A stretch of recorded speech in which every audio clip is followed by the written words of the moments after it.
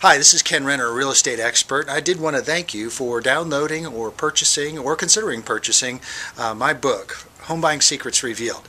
Uh, it's taken me over 11 months to, uh, to compile the knowledge in this book. It's got over 160 money saving and uh, secrets and tips that you need to know about when you're going to be buying a home. And I want to let you know that the uh, though the real estate market has been in a little bit tough times recently, those are the best times to purchase a home in a buyer's market with low interest rates uh, and with a low low cost of money and when builders and sellers are just giving their homes away.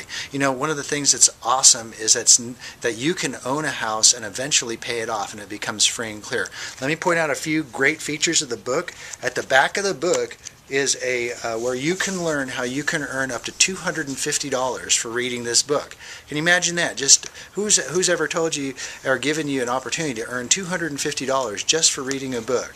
Uh, some of the other really cool features here. Uh, I'm going to go through the table of contents a little bit to let you know what you're going to find in the book. Um, one of the things that uh, I bought my first home uh, back in 1983 in Anchorage, Alaska. I was 19 years old. Uh, it was one of the scariest things I ever did, but it was also one of the most fruitful things that I ever did. So I want to encourage you that uh, that buying a home can seem like a scary experience, but you know what? Once it's all over, you'll be glad you did. Uh, I also want to uh, point out that the uh, the home buying section one is about home buying motivations. I want to dispel some of the myths and some of the uh, the the media mania I called it. I call it about uh, about why uh, real estate is a good investment as opposed to what you hear in the news or hear from uh, uh, the uh, the the newspapers out there. I also like to point out one of the great things is my my rich dad poor dad story where I talk about my two fathers, kind of like Robert Kiyosaki's deal, but this is my true to life fathers. I have a my real father and my father-in-law. One was a, uh, a, corporate attorney, and the other one was a real estate agent. And uh, you'll find it interesting to read about those those two stories. Uh, also, uh, want to encourage you to learn how to build a team of trusted advisors. That's in chapter four.